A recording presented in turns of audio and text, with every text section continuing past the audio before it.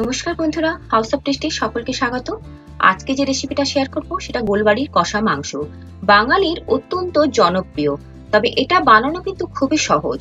খুব সহজ একটা রেসিপি কয়েকটা ইনগ্রিডিয়েন্টস দিয়ে একটা মশলা পাউডার তৈরি করা হয়, সেটাই হচ্ছে এখানে মেন তবে রেসিপিটা ভালো লাগলে একটা লাইক করুন আর কমেন্টের মাধ্যমে জানান। যারা আমার চ্যানেলটা সাবস্ক্রাইব করেনি প্লিজ প্লিজ সাবস্ক্রাইব করুন। বেল আইকন প্রেস করতে ভুলবেন না, কারণ নতুন রেসিপি আপলোড হলে আপনার মিস হবে না। তাহলে চলুন রেসিপিটা দেখে নিন এটা বানানোর জন্য আমি সাড়ে সাতশো গ্রাম মাটন নিয়ে নিয়েছি আর মাটনের পিসগুলো ঠিক এইরকমই খুব ছোটও নয়, আবার খুব বড়ও নয়। তো এর সঙ্গে আমি এক টেবিল স্পুন মতো রসুন বাটা, এক টেবিল স্পুন আদা বাটা,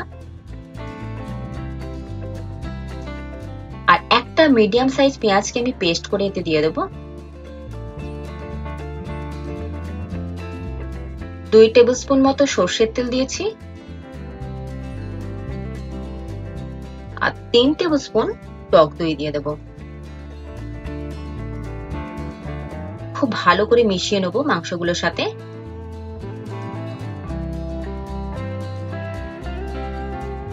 এবার এটাকে আমি এক ঘণ্টার মতো ঢাকা দিয়ে রেখে দেবো। ততক্ষণে আমি সেই ভাজা মশলাটা বানিয়ে নিই। চারটে শুকনো লঙ্কা, দুটো তেজপাতা আর এক টেবিল স্পুন ধনে, এক স্পুন জিরে আর চারটে ছোট এলাচ,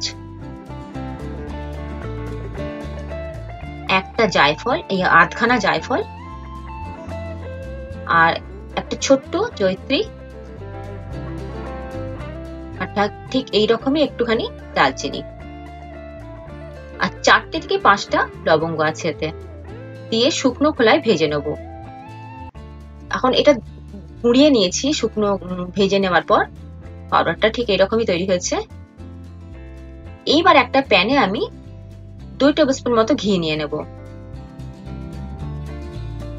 নেয়ার পর একটা বড় সাইজের পেঁয়াজকে আমি এইরকম ভাবে কেটে নিয়েছি স্লাইস করে নিয়ে ভেজে নেব। ঠিক এইরকমই কালারটা আসবে। এবার এর সাথে আমি আবারও এক টেবিল স্পুন মতো রসুন বাটা দিয়ে দিলাম, এক টেবিল স্পুন আদা বাটা। দিয়ে একটু মিশিয়ে নেব মশলাটার সাথে, পেঁয়াজটার সাথে। এবার এক স্পুন হলুদ গুঁড়ো, এক টেবিল স্পুন লঙ্কা গুঁড়ো।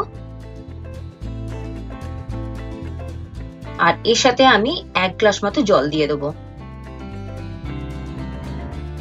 খুব ভালো করে মিশিয়ে নেব।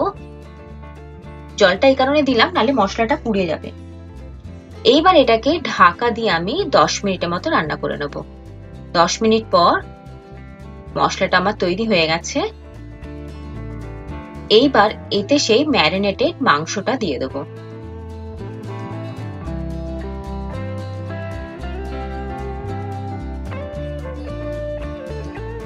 খুব ভালো করে মিশিয়ে নেব মশলাটার সাথে মাংসটা।